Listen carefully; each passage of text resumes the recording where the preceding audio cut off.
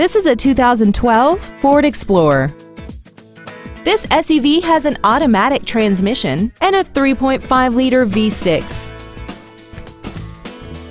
Features include commercial-free satellite radio, aluminum wheels, traction control and stability control systems, a leather-wrapped steering wheel, an illuminated driver's side vanity mirror, roof rails, rear curtain airbags, a power driver's seat, air vents for rear-seated passengers, and this vehicle has less than 20,000 miles.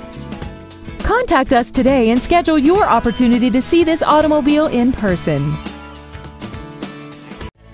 Dave Sinclair Ford is located at 7466 Lindbergh Boulevard in St. Louis. Our goal is to exceed all of your expectations to ensure that you'll return for future visits.